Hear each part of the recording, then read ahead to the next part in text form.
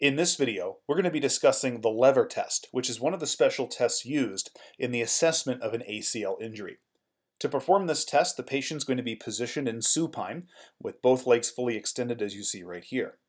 The PT is going to place one fist under the proximal third of the patient's calf, which you see right here, and then using the other hand, the PT is going to apply a downward force over the distal third of the patient's quadriceps. And notice as I push down on the quadriceps, the lower leg and also the ankle elevate off of the table.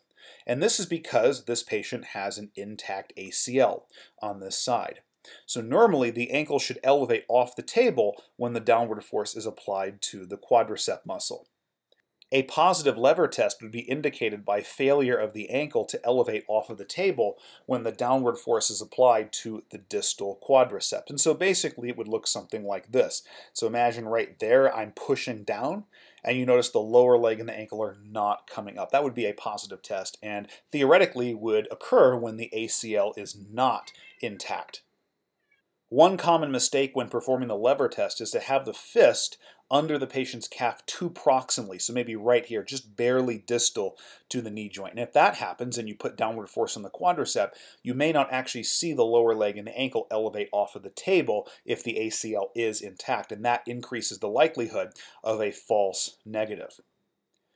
Now, the psychometrics of the lever test were evaluated by Vassallam et al. in 2020, and they reported a sensitivity at 86% and a specificity of 25%. And since the specificity is so low, this test cannot be used to rule up an ACL injury if it's positive. But the sensitivity is moderate at 86%. In other words, if the lever test is negative, there's an 86% chance that the patient does not have an ACL injury.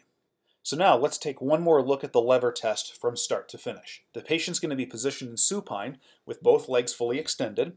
The PT will place one fist under the proximal third of the patient's calf and apply a downward force to the distal third of the patient's quadricep.